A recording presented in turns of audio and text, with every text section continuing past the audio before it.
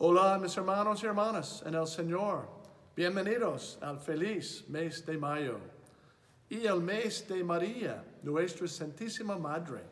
Como todos los fanáticos de Facebook pueden haber visto, la parroquia está alentando la devoción a nuestra Santísima Madre este mes.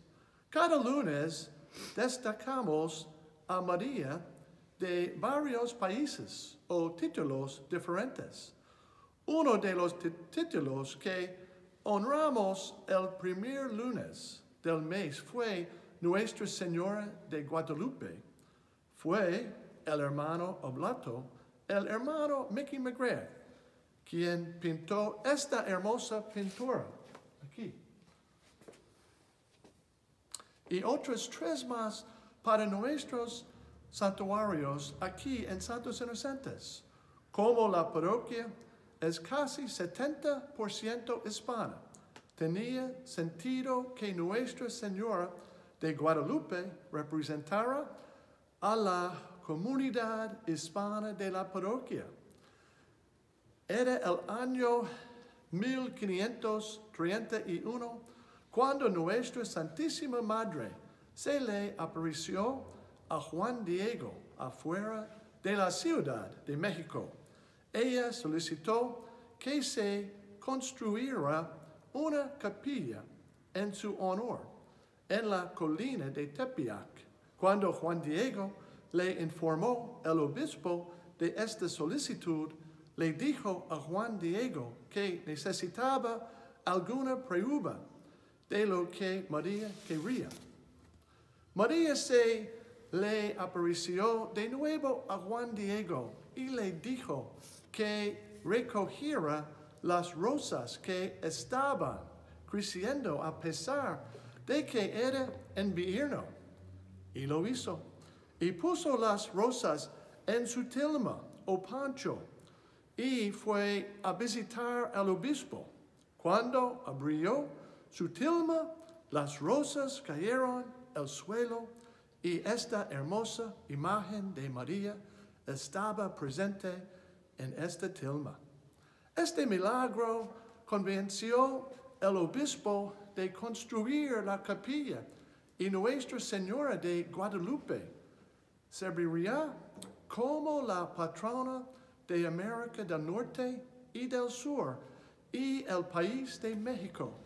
Mientras honramos y recordamos a nuestra Santísima Madre este mes, están invitados a rezar el rosario todos los días. Reza el rosario por tu cuenta o con tu familia. O rezalo con la arquidiócesis y la oficina de evangelización a las seis de la tarde cada día. Nuestra página de Facebook lo llevará el rosario donde puede rezar con muchos otros.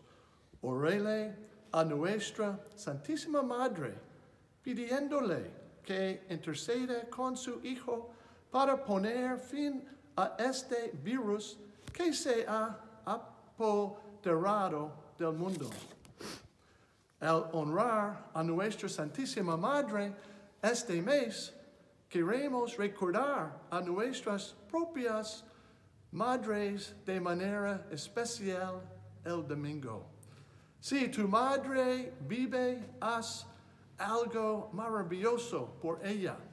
Hazle su desayuno en la cama o preparale la cena y no te olvides de los platos. ¿eh?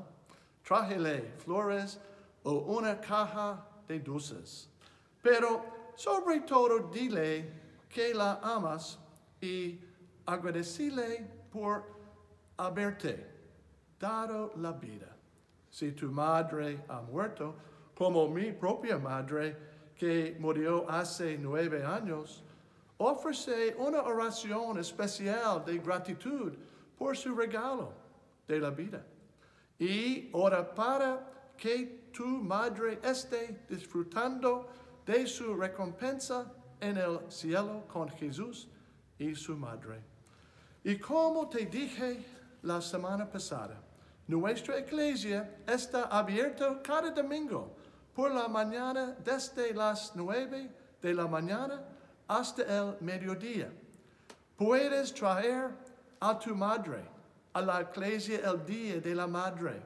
Ofrece una oración por ella y por todos los que están enfermos o muriendo por el virus. Espero verte de visita el domingo. Hasta entonces, que Dios los bendiga a ustedes y a sus seres queridos a través de la intercesión de nuestra Santísima Madre, en el nombre del Padre y del Hijo y del Espíritu Santo. Amen.